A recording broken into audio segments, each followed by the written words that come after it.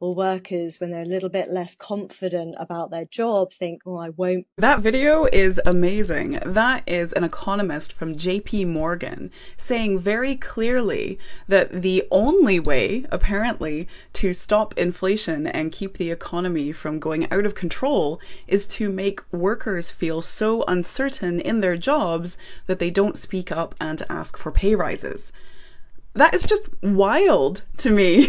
like the idea, and she puts it as if, you know, the Bank of England, wow, they've got such a tough job here.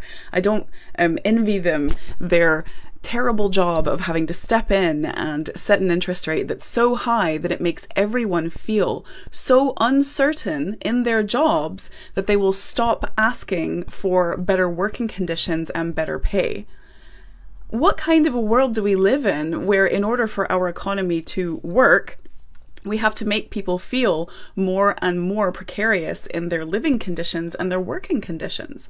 And the reason I wanted to point this video out is because if you are speaking up about something at the moment and you feel like the whole world is against you and that you're pushing up against this mountain, that's because you are. You know, she could not have been more clear in that video that this is by design. This is the way that the system is designed to work. And so, you know, I see a lot of people kicking themselves for, you know, not knowing what to do or feeling like they're having to push a lot or maybe they feel like they're being a problem. That's because you are designed to feel like you are a problem.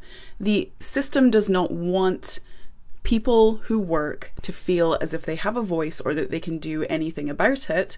Because if they do, then they might ask for increases in their wages and might get them. And then their logic is, well, then companies will have to charge more. There's no other option other than them charging more. You know, maybe they should reduce their record breaking profits, perhaps. That feels like that could be another option. But no, let's keep the workers in their place instead. So, yes, that video is incredibly enlightening because I talk about this sometimes about how, you know, there's this battle going on right now between the labor movement and I would call it like, you know, just the big companies, the institutions of the economy.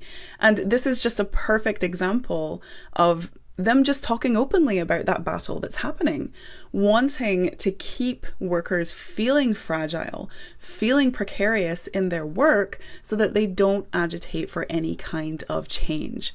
But if you're doing that and you're feeling bad about it, just know it's okay. It's okay. You're just working against the system.